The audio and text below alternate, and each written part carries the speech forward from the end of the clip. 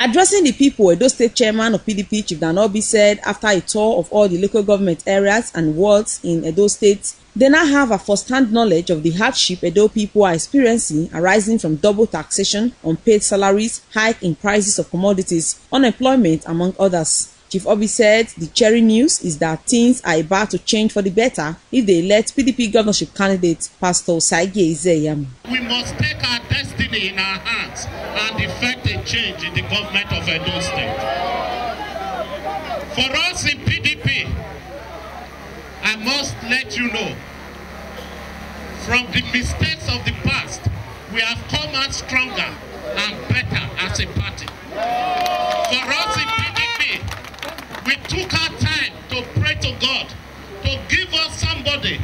Who will be able to rescue Edo State. For us in the party, we have committed this project into the hands of God. The end result will be victory for all of us. Pastor Osagie Ize-Iyamu, addressing residents of Adolor College Road in Benin, said he is on a rescue mission to redeem Edo State from the hands of those who keeps borrowing money to enrich themselves after embarking on cosmetic projects. By the grace of God, when we come in, we will solve the problem of this road. I want to appeal to all of you.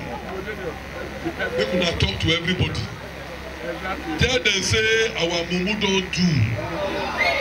Because Osogbo dey dey post.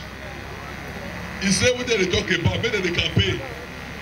As far as election day, he carry money go feed. Vote for APC collect two thousand. Say that's the end. But una go tell am say two thousand no go fit change una destiny. Two thousand no go fit help your family. The team also visited Eyan in Nwode local government area where the governorship candidate Pastor Saige Zeyamu promised the people of better days just as the party received some defectors who assured the PDP leader of delivering Pastor Saige Zeyamu. PDP no go disappoint una. Me, wetin I wan do, write am here. As dem say wey their own, dem no go fit bring am. But by the grace of God, we go employ people.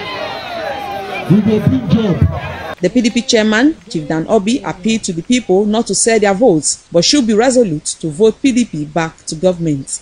Best Mbiere reporting.